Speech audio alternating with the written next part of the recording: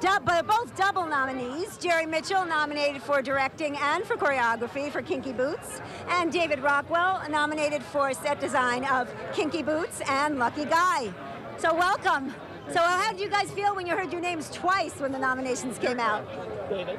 You know something, it's kind of a dream come true. I love the theater community and I love getting to do the work. So the nominations are a nice way to be with a great group and be acknowledged for your work and then you get to get obsessive about it. But it, the truth of the matter is, it's like this amazing community and being part of it's thrilling for me.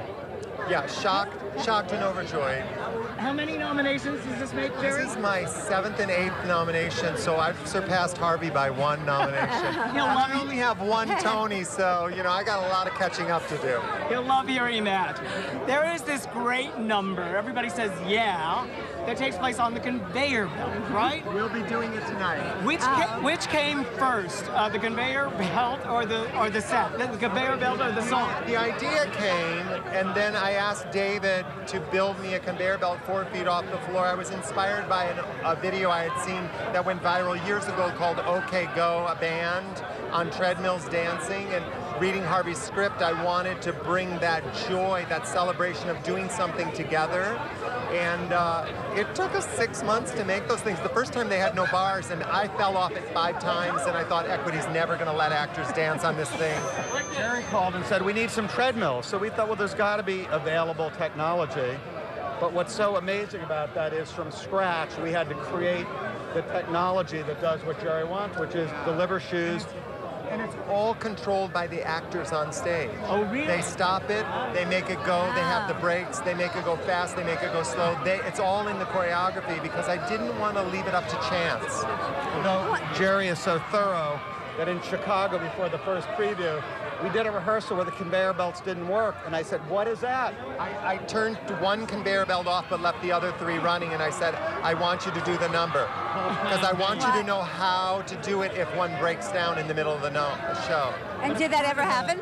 No, not, not, no, not, not Part of the goal of the show is there's nothing up there, set or actor-wise, it's not part of the storytelling. Very organic. I went and spent a couple of weeks in Northampton, and I toured the Trickers factory where the movie was made, and I also went to churches, and then I went to John Lobb, and I learned how to make a shoe, a man's brogue, by hand, and it was important information. I could do the drag.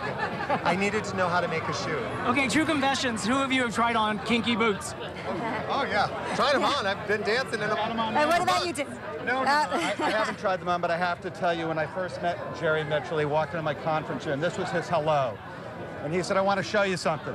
And he had a bruise here and here. And he said, I'm teaching people to do the time warp. so he's a method choreographer. Talk about the relationship between a director and the set designer. I mean, it seems pretty organic with something like a conveyor belt and things like that. When does it start in terms of when a, a production goes up uh, well, into David rehearsal? and I have passed the, um, we've passed just uh, collaborators. We're friends.